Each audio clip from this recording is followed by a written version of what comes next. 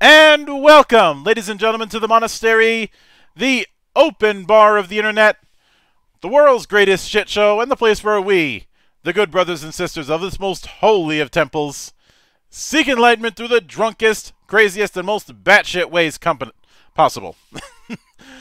Fucked it up already. I am your one and only gaming monk, better known as Mildra, and with me I have a returning good brother into the temple. Coming to us straight from ninth level games, formerly of Maze's fame, now with the with the role-playing adaptation of Return to Dark Tower, the one and only Chris, don't call him O'Donnell, O'Neil. yeah, don't call me O'Donnell. It's not my name. uh, uh, in I fact, to... it's funny. There are two. Uh, there are two separate Chris O'Neills in gaming. Two completely separate people with different names that are both pronounced Chris O'Neill. So I hope I hope I hope both of you aren't in the same room at any point. No, uh, I mean uh, only at conventions. Uh, Chris O'Neill, O N E A L, is uh, one of the guys from Brotherwise Games. Mm-hmm. Uh, they make a they make some cool board games, and you know I make some cool role playing games. So, yeah. um, it's all good. As an aside, I had to have a bit of a laugh that the Kickstarter account for ninth level has backed 666 projects. Uh, yeah, we uh, I, I've actually like held off buying anything on Kickstarter for a while just because it's super fun. Um, uh, being at 666 backed projects. so, um, more than half of those are role playing zines. Um, you know, uh, but it's still a pretty ridiculous number. Uh, you uh, probably go, you probably go to town on um on zine on Zine Quest Yes, yes. Zine Quest has been uh, actually really uh, fun and, and, and kind of important for ninth level. It really put us back into hardcore on uh, making sure that we were making as many indie RPGs as possible. So, although it's not like I'm one to talk because because I've bet because bet- between between my two accounts, I've pro- between the two the original account I have in the back and the backup that I made. Um, I've got just under 400, and I, I'd all but all but tw- all but um 20 of them mm. are um get are game related. Yeah, I kind of sure. I kind of wish the pie would separate between um tabletop games and video games instead of just putting them all in games. Uh, yeah, the uh, uh, I have three slices uh, yet to fill in on my on my pie uh, uh, which is a fun little game. And, and I sometimes just look to see if maybe something cool comes out in one of the areas that I'm missing, because um, I would like to fill in the pie. Um, I'm sure the moment I do, they'll come out with a couple of new, uh, a couple of new categories, so that I will no longer have a complete pie. Mm-hmm. Oh, that that's that's the way it goes. The pie is a lie, and the cake is a fake. Wait, reverse that. This. So the cake is always a lie. Especially, especially since my colleagues always want to give me chocolate cake, assholes. I have uh, 579 of my back projects have been games. Mm-hmm. Um. Now, now, given that given that this is a this is as I understand it, a adaptation of the board game of the same name, just using yeah. the mazes system that we've talked we've talked about the last time I had you on.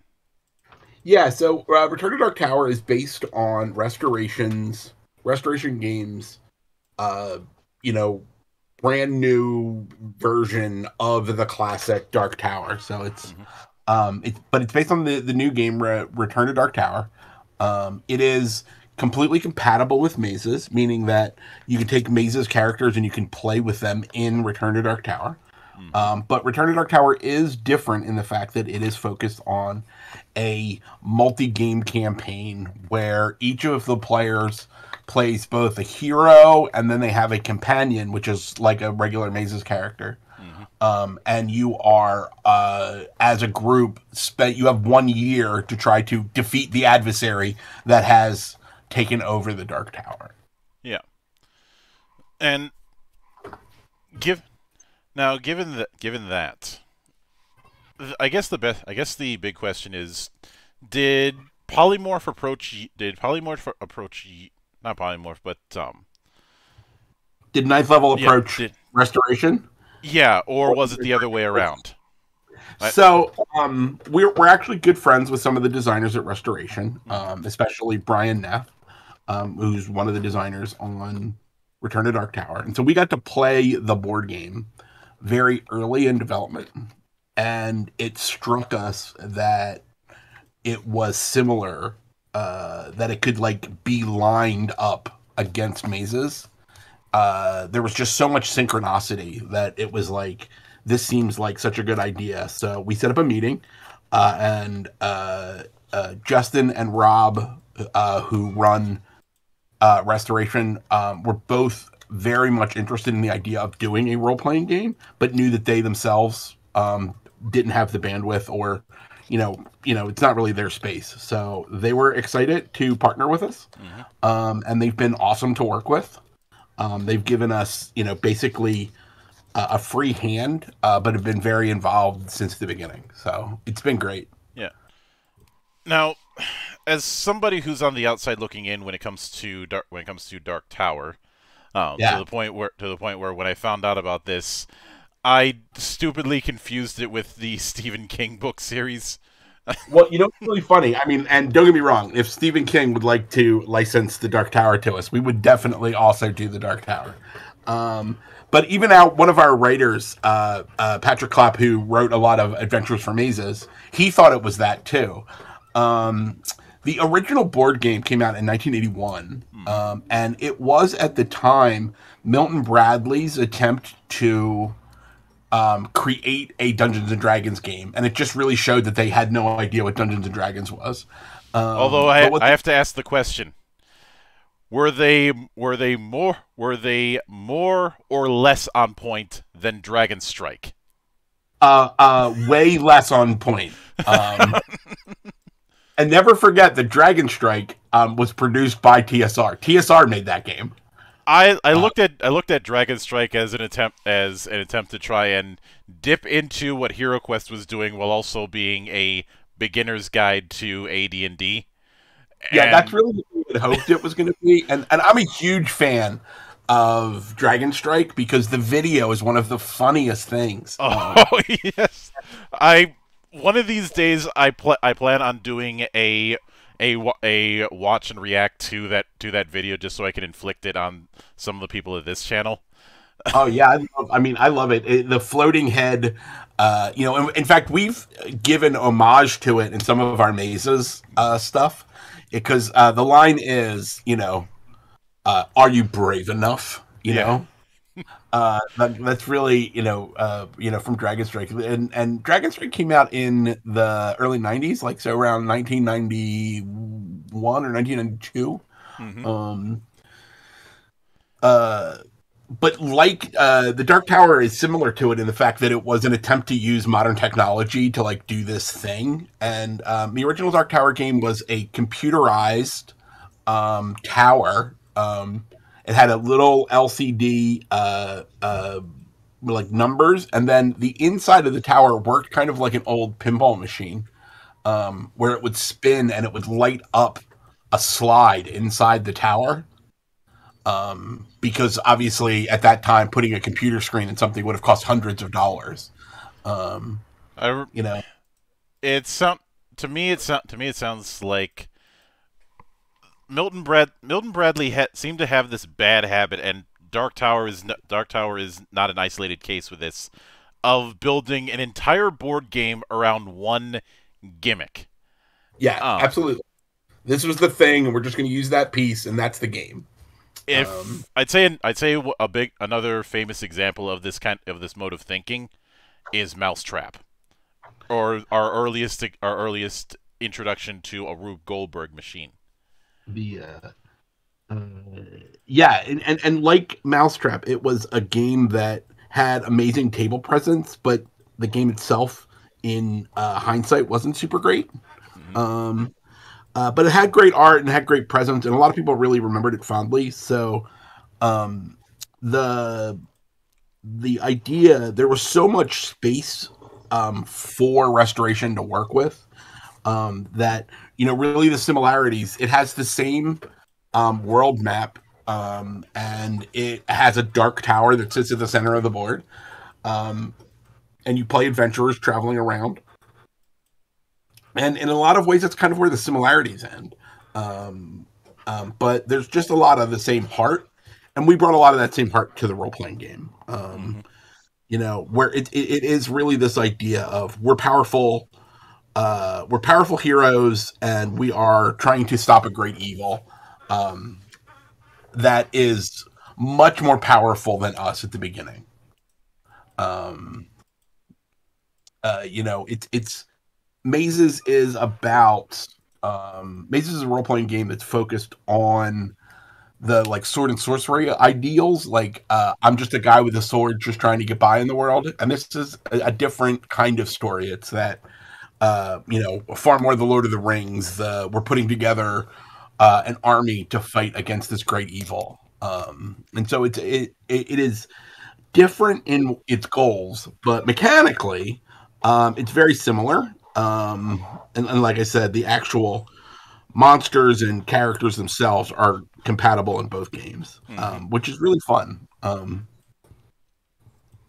and with that, with that in mind, I'd like you. I'd like you to walk me through if if there an, if there's any one particular um, moment or mechanic or system within within the board game where you where you guys realized this could really work within our system? Yeah, there were a lot. Um, uh, so the first thing that happened is is just the actual core. So in the game, in the board game, you have a character, and your character has um, a core ability called a banner, right? And so at the beginning of your turn, if you want, you can do your banner action. Mm-hmm. Um, and then um, then your other you have four other potential actions. You can um, clear a part of the board. You can go and you can battle something, um, or uh, you, you know, so you can stand up to evil. You can try to gain resources, or you can battle. And when we actually start to look at things, we're like, oh, this is the same as key books blade you know uh key books boots blades bones like it, it, it lined up and in the tower itself, they use these glyphs. So they use these little icons that show up on the tower and they light up. Um, and even just the icon iconography was similar to the iconography that we were working as we were working on mazes at the time. And so it was just like um, the fact this this synchronicity was like really we were like okay i get it. And in mazes we have um, stars that allow you to power your activities. Mm-hmm. and in uh, return to dark tower you have spirit. Um, you know again now where things differ uh, and diverge um, you know the actual board game is more of a you know a strategy and resource game. It's about moving around and collecting resources and using them to prevent other things um, but there is this activity about going down into the dungeons. You can explore dungeons, and when you get to that point, it's so similar to mazes that that was where that initial like, oh, oh, we got it. This is this is something. I remember, like, I was like, I got quiet and I never shut up, right? And I like was sitting there at the table and I was just like, like staring off into space thinking about it when my team was like, "Are you? uh What are you thinking about there?" You know, and it was like, uh I think we could do this role playing game. Um, uh, uh, you know, I, I hope that in the fullness of time, uh, people that are interested in the board game um, will give the role playing game a shot, and that people that play the role playing game will, um, you know, play the board game because they are different experiences about the same shining core. Mm-hmm. Um, and given th- given that, I since obviously um, obviously I'd say a fair bit of people who are who are going to be jumping on this are prob are so there's a lot of them who are going to be familiar with the board game. Yeah. But I'd say there's ju- there's just as much who are going to be more familiar with mazes. And really that's the angle that that I'm tackling because obviously I haven't had I haven't had re- anybody from restorations in the temple yet. Um, but I'd like, uh, but when it comes to banners, books, and, and etc., I'd like to go go into each of them to kind of expl- uh, kind of explore what those what those avenues entail? We ca- I remember we did this sim- a similar thing with the core attributes in mazes.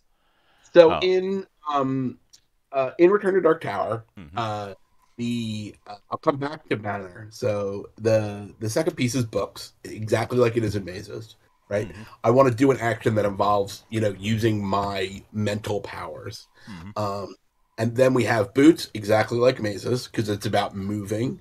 Um, and then we have blades, which originally we were calling battle, which is what it's called in Return to Dark Tower. But we realized that um, for consistency's sake, blades, you know, when you say it, you get that it's the battle piece. Mhm. Um, and uh, there is a change and a difference because not only so your your hero character, your core hero character, the one of the big differences in Return to Dark Tower is that in addition to your character, you also have a force of uh, a force that accompanies you, whether that be soldiers or spies or thieves or you know a freet or uh, you know a herd of bison. It, that that's less important, but the reality is is you have some kind of force that you lead, Yeah. um, and when they are acting, we call it battle. So you would roll battle. Mhm. Um, uh, and then we have bones, um, as is in mazes, which is about you know your force of will and also your physical strength.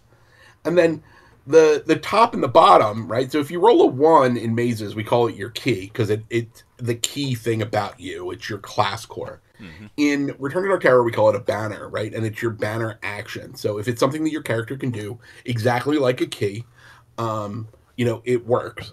But also, as you gain as you gain banners in the game, so over time you can gain resources which are called banners.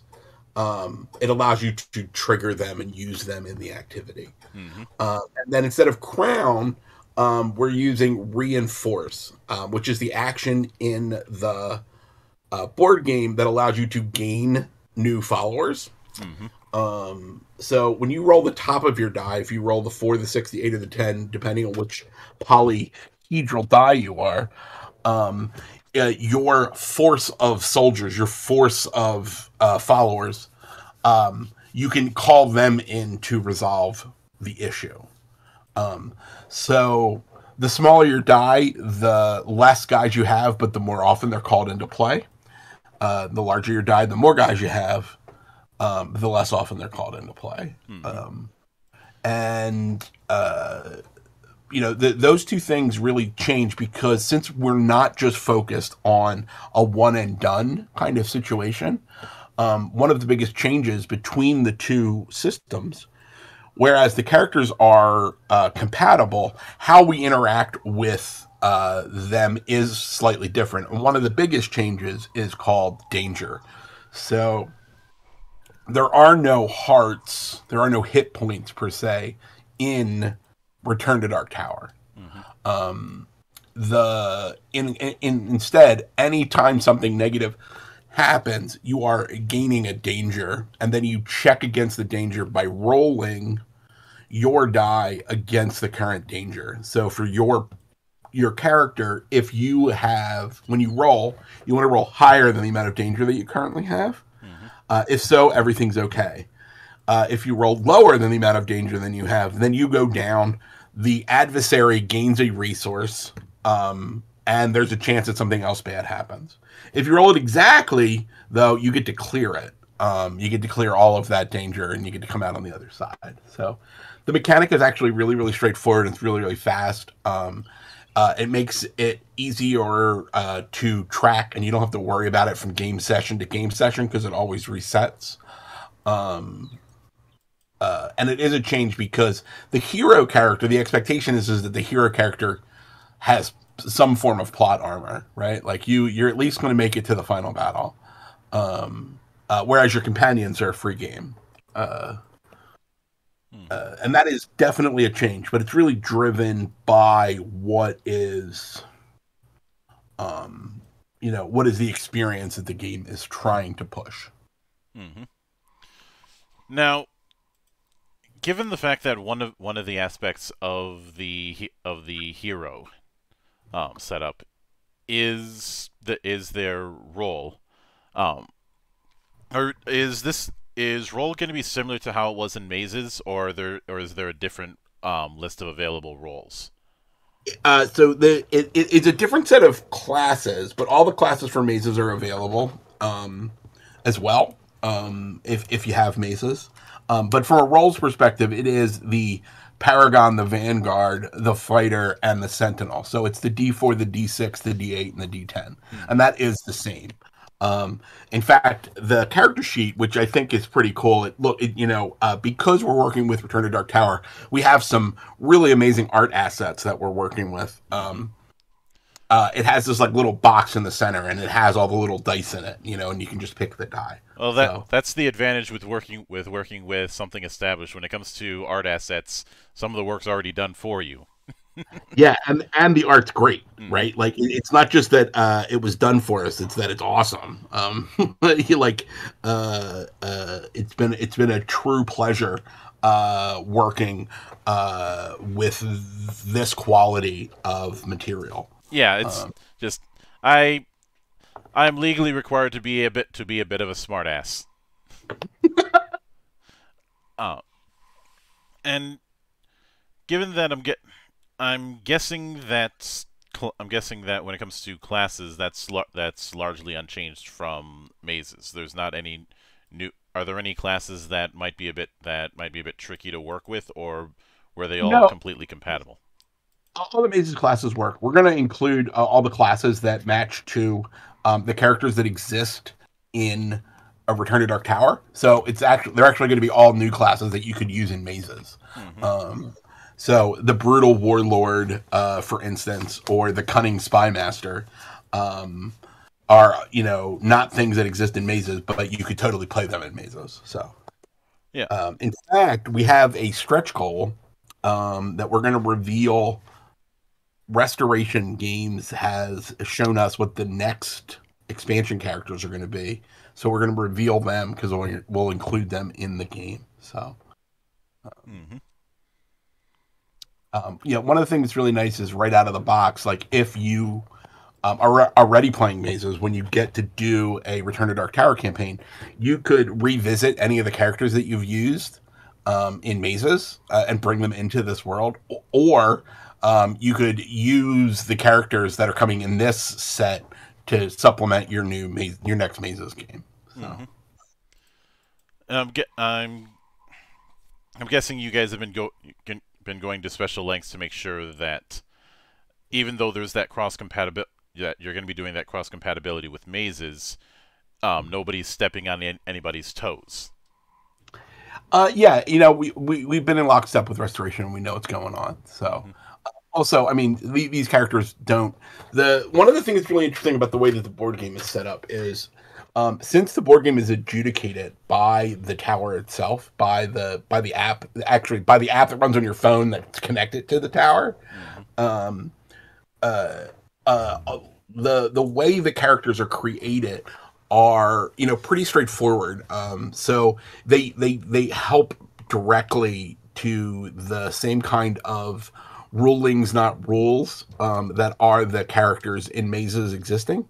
Um, uh, you know, and uh, because there is, you know, you could have two character classes in mazes that are very similar, but you know, one word is different or one set of edges is different, and all of a sudden it's a completely different, you know, character base. Um, uh, since we're not doing anything that directly affects the board game, um, even though we're doing lots of things that incorporate aspects of the board game, um, you know, we're not we're not getting in their way at all. So. And with that in with that in mind, when it comes to now, when it comes to th- when it comes to the companion, uh, Yeah. I believe that I believe that's not too far removed from Maze's retainer. But how sim, what prompt what prompted that, and how similar or different it is to retainer? Yeah, so the forces um, that the hero has is very similar to Maze's retainers. So Um, because it's kind of an extension of your character as like, you know, I have these guys that work for me. Whereas Companion is a full blown character. It's essentially a, an actual Maze's character. Um, so that each person at the table is literally playing a hero and a companion. And the idea there is when we talk about these large scale, um, epic kind of fantasy things, we're never always going to be right next to each other. And, you know, the warrior has to go fight the troll in the hills while the smarty smarts go off to the temple to read ancient scrolls. And since time and what we're doing and where we are in the world are all important, we wanted to create the opportunity that you have two different characters that you could play so that you can always be involved in the action and it doesn't interact uh, negatively with the narrative. Um, so essentially, at the beginning of every session, or at least every part of every session, you're going to choose which of the characters that you're playing. Um, the expectation um, is that you're going to at least have every player is going to have an opportunity to play their hero hmm. um, at least once because each of those heroes has a goal that they are trying to accomplish. Mm-hmm. So I don't know. Have you, uh, Mildra? Have you ever have you ever heard of a game called The Gaean Reach by Robin Laws. I ha- I have. Okay, so there's this great piece in The Gaean Reach that I, I love and I've always wanted to use in a game, and it, it is one of the ways uh, the way that that game works is everyone sits down at the very beginning and says, uh, "Quandos Vorn has wronged me."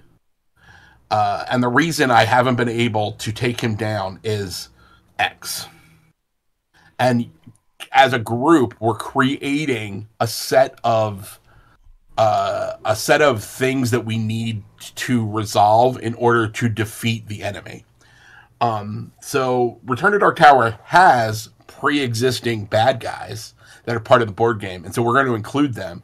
But we're also going to include this option that says we can create uh, a Quandos Vorn, if you would, similar to the way it's done in Gaean Reach, which I'm very excited for. Um, and so in that situation, each hero would say, uh, "This is the thing that is preventing me from taking them down." Right? This is the this is the piece because each of the adversaries' uh, powers are based around this idea of a seal. So in the board game, what you are doing is trying to prevent the tower from opening seals because then bad things happen.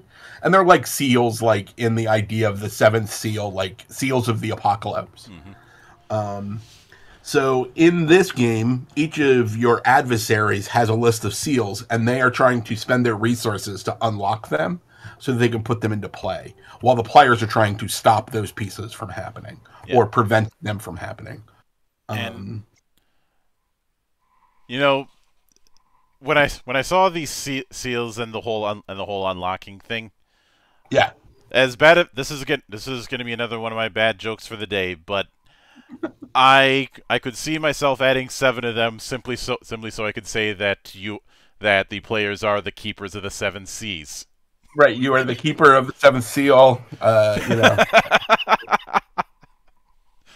the uh, that's that's that's definitely uh, by default, there's only five spaces on the character sheet, hmm. but uh, you know you can make you just print two character sheets, uh, paste them together. I have never found a game that I couldn't hack.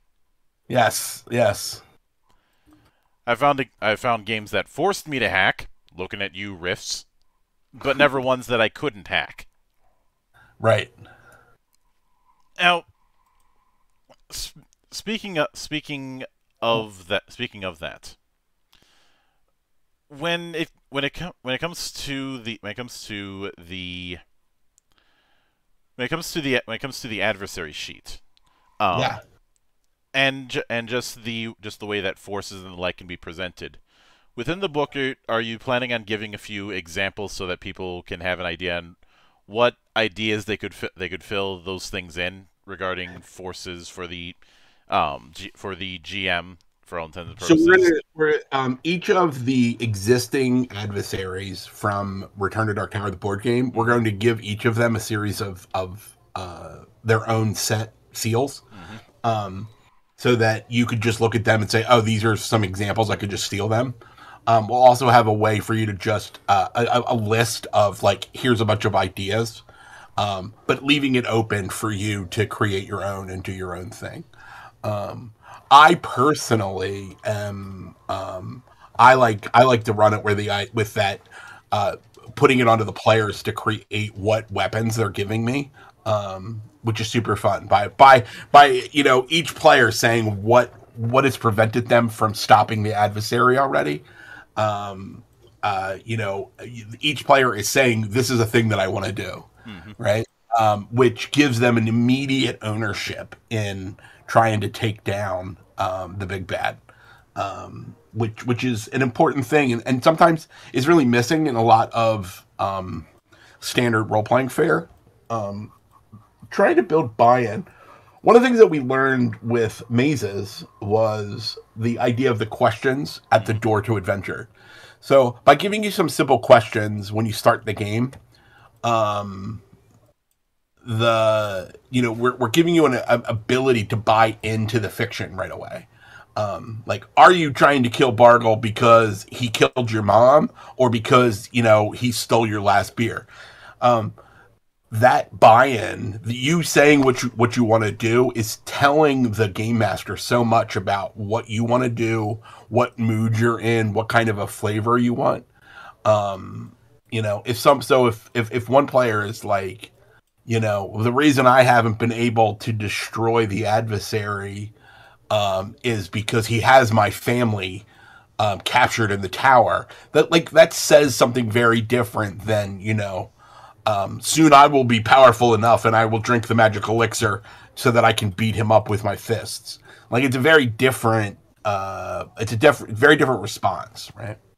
Mm-hmm. So, and it's that's just something that I that I often ask because analysis paralysis, as repetitive as it is with, when I talk about it, is still a thing.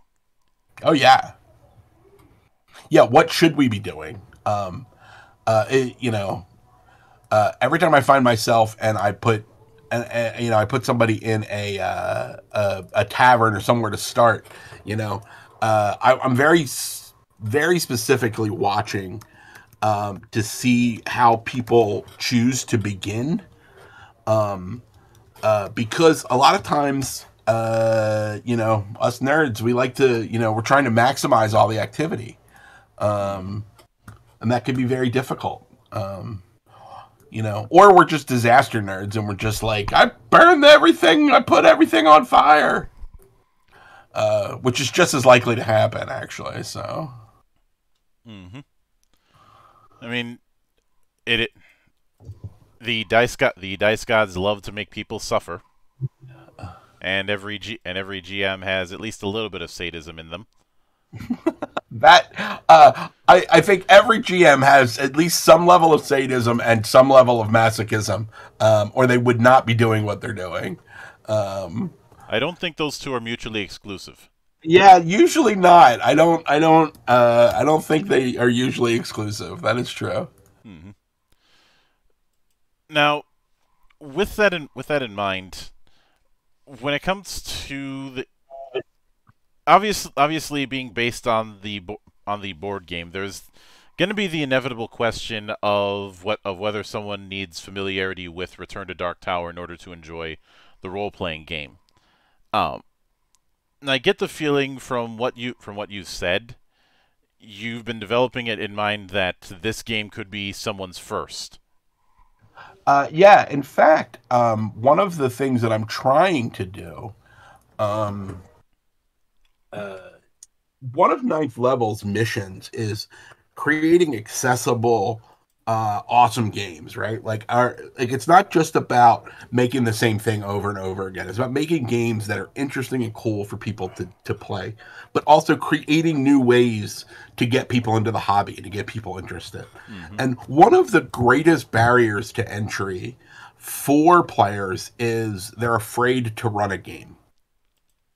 Um, and so we one of my design principles um, throughout this entire process has been creating a system that allows you to easily construct um, a campaign frame that isn't going to require a huge amount of prep on your side um, and that's going to lead you to these actions. Hopefully, allowing people a feeling of confidence uh, if this is maybe their first game running it. Uh, from a do you need to have played Return to Dark Tower? The answer is absolutely not. Um, you know, the, there was there's no expectation um, that you have. It's just that if you're into Return to Dark Tower, if you're into the original Dark Tower, um, you know, you get to play around and and and, and hang out a little more uh, in that world and do some new, discover some new cool stuff. Um, I hope. Mm-hmm. Uh, uh, and and and and all, all all of that. So, yeah. Now, when it comes to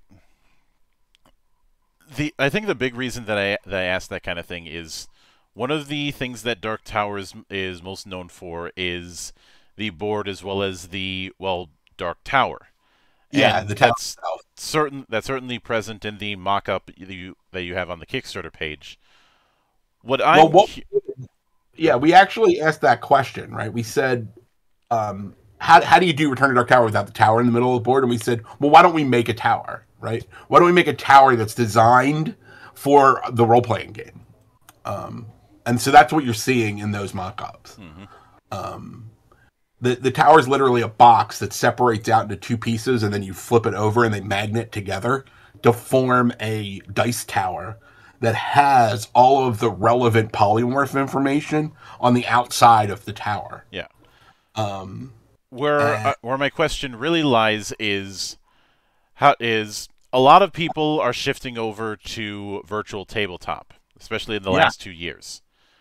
So how are you going to accommodate the tower when you can't do the tower in something like Roll Twenty or Foundry? You could probably do um, it in tabletop sim, but that's moot.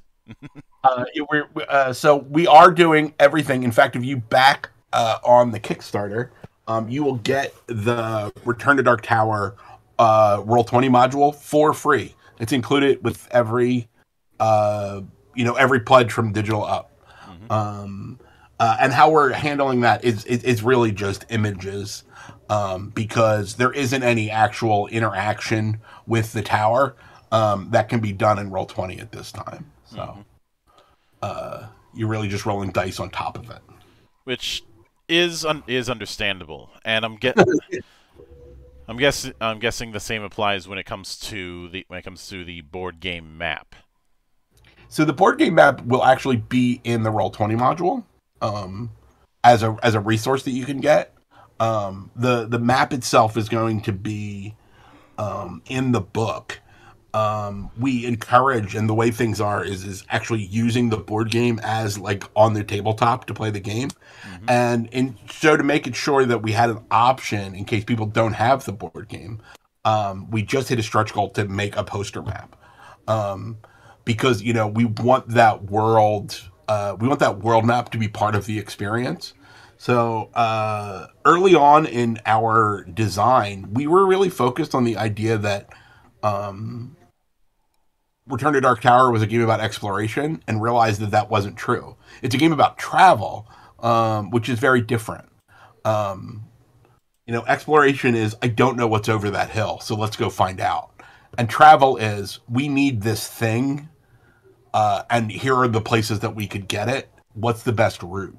What's the best route for us? Right? It's more about, um, uh, you know, uh, it's more about traveling around on the map than it is about discovering things on the map and knowing where people are and hey uh, our army is on the other side of the world right now right mm-hmm. so yeah uh, one of the interesting things that uh, had come up in the design of the board game that justin uh, jacobson had told us was that at one point him and rob had sat down and said like we, we need a good understanding in our head about how big this place is. Mm-hmm. And so the Four Kingdoms, which is the name of the, the world around the Dark Tower, um, uh, the Four Kingdoms are about the size of Ireland, the island of Ireland. And so that has influenced my thought about how things move here. So each of the regions are about, you know, like they're they're uh, you could you could you could ride you could you could ride a horse from one to the other in a day, you know. Um, is is kind of what it what it basically boils down to. Oh yeah. Now, with that with that in mind, given given the um, given the phase design and the fact that there is a time limit, I think it's I think it's important that multiple encounters, even if even if all roads eventually lead to Rome, that there's a lot of roads. Um, Oh, is yeah. that something that you guys have have had in mind when it comes to how one would structure um, a campaign with this system? Um, so, uh, my expectation, um, because we are still moving some pieces around, is that uh, how you get to the end is totally up to the players. Mhm. Um, in fact, the worst thing that can happen to the players is they spend too much time, uh, uh, you know, messing around in a couple of areas, and the adversary is able to open the tower early. Um, so the expectation is is that every game of Return to Dark Tower ends with the players facing the adversary. Uh, and the question is is are they doing that at the tower or are they doing it at a place of the adversary's choosing? Mhm. Um, uh, so uh, you know, all roads in this case lead to the Dark Tower, uh, but uh, sometimes the tower might get to you first. Um, I think that answers your question. Yeah. Now, with that with that in mind, what are you shooting for as far as a page count for the book? I know it's I know on the I know on the page it said over 50. 250 pages, but so I mean, we're shooting for 250. We'll see where where we end up. Um, uh, we have a bigger page, uh, physical page than what we had in Mazes because we are making this the size of an old TSR uh, hardcover. mhm. Um, so we have a little bit more space to play with. Um, uh, you know, but content wise, um, you know, we, we have to include enough uh, from from mazes so that you have um, all the stuff about playing. There's a lot less pieces, and then there's the focus on here's how you run the campaign and you do these pieces, uh, and then there's the adversaries. Um, you know, uh, if we end up uh, short of that, it'll just give us some space to add a lot more world information. Mhm. Um, uh, so we will see at the end uh, when we get done all of the writing uh, where we're at. My expectation, though, right now is it's somewhere around 250, so 250, 260, somewhere in that space. Mhm.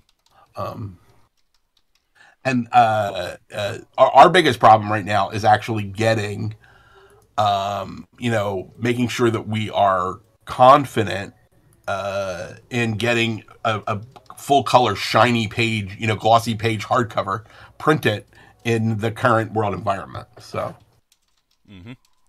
it is uh, it, it is it is difficult right now. Yeah.